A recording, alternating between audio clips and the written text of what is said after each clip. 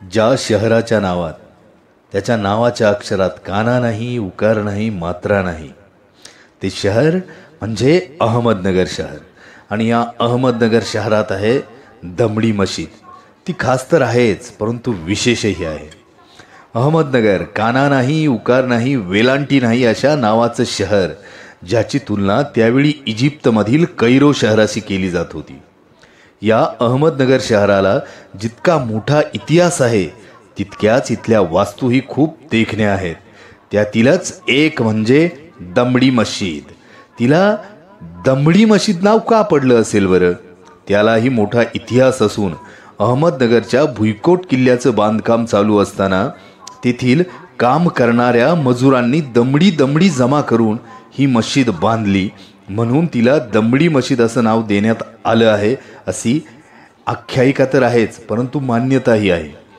साहिर खान नावाच्या मजुराच्या मनात आलं की राजा आणि त्याने बांधलेल्या वास्तू ह्या त्याचं नाव मागे ठेवून जातील. परंतु इथे काम करणाऱ्या मजुरांनी ही जर पायी पायी जोडून काहीतरी वास्तू निर्माण केली तर तिचंही नाव इतिहास इतिहासामध्ये कोरलं जाईल. त्यातूनच मग दमडी मशिदीची संकल्पना साकार झाली.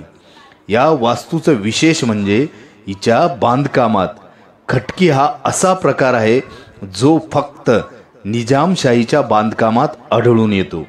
मुघलकालीन बांधकामात ती कुठेच आढळून येत नाही. पंधराशे सदुसष्ट अडुसष्ट साली बांधण्यात आलेल्या बांधकामात पक्षी हवामान आणि इतर बाबींचाही विचार करण्यात आला होता. प्रत्येक मजुराने आपल्या कामातील आणि त्या कामातून मिळणाऱ्या श्रमातून दमडी दमडी देऊन ही दमडी मशीद बनवली. त्यामुळे ती त्या कालच्या अभियंत्यांनी खूप विचार करून बनवलेली असणार.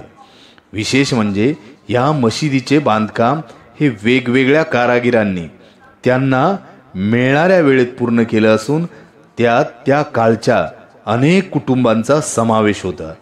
अहमदनगरला जर कधी जाण्याचा योग आला तर ही कामगारांनी बनवलेली काळ्या दगडातील दमडी मशीद जरूर पहा.